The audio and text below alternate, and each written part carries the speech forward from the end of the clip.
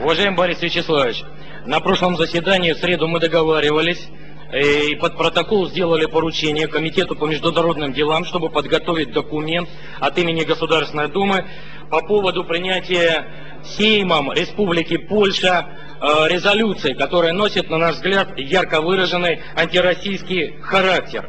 Я вижу, что в повестке дня данного вопроса нет, Борис Вячеславович. Э, вроде бы э, какой-то документ проекта, проект есть комитета. Хотелось бы, чтобы все депутаты были с ним ознакомлены.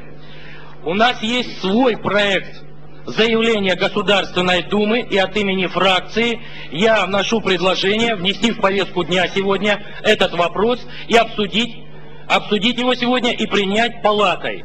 Этот документ, который приняла Польша, носит антироссийский характер. Антироссийская позиция смыкается с антикоммунистической